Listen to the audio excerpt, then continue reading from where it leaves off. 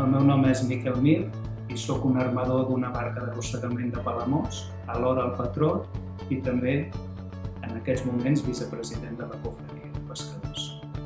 Avui el que us explicaré serà les tècniques de pesca més comuns a la Mediterrània, concretament a la zona de Catalunya. Començarem per importància amb el volum econòmic. La més important és l'arrossegament. L'arrossegament es tracta, són unes xarxes en forma d'embut que es deixen anar del barco i mitjançant un sistema de cordes i cables la xarxa tocarà el fons marí i s'anirà arrossegant tot el dia per al fons marí.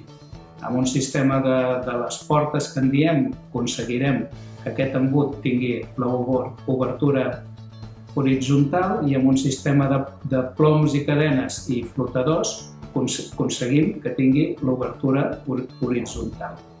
Quan la xarxa toca el fons marí, doncs ja es tracta d'anar arrossegant i el patró és el que dirigeix la xarxa i la porta, depèn de l'espècie que vol capturar, doncs triarà el fons en, en el que viu aquella espècie. El que es pesca són eh, les espècies pelàgiques. Pelàgic vol dir que viu a prop del fons marí o, o posat sobre el fons marí.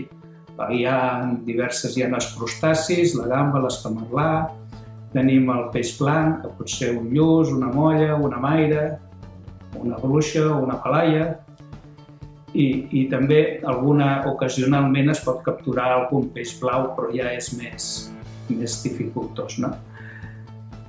La segona importància econòmica seria l'encerclament. L'encerclament eh, és una tècnica que es captura el peix blau, peix que està nedant eh, molt a prop del fons. Aquestes embarcacions porten una embarcació auxiliar que encendrà la llum. Aquesta llum el que fa és atreure el peix i el peix es queda nedant sota el llum.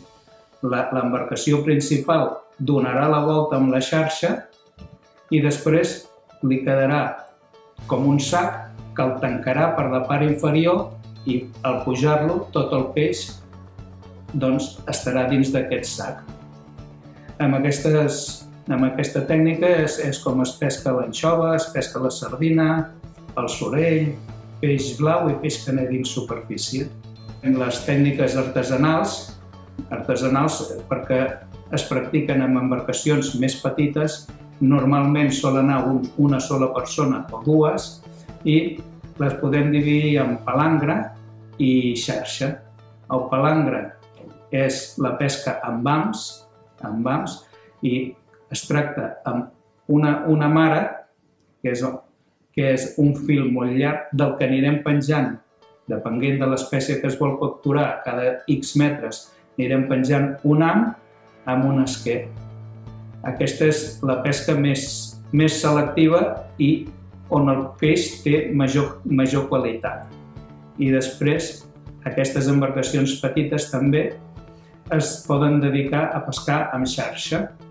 La xarxa és a, a, també mitjançant un sistema de ploms i de suros, ells faran com una paret, com si féssim una paret de xarxa, i depenent del forat de, la, de les malles d'aquesta xarxa, el peix quan l'embarranca, aquesta xarxa es queda clavat es queda clavat pel, pel coll i, i després el recollir es va traient.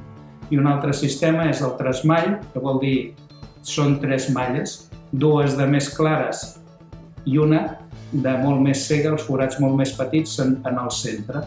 Quan passa el peix, el que fa és embarrancar la xarxa, passa pels forats grossos, però quan vol girar se li fa com una bossa i amb, amb, la, amb la xarxa que hi ha per fora de les malles més clares queda una forma de bossa i el peix queda enganxat a dintre d'aquesta bossa.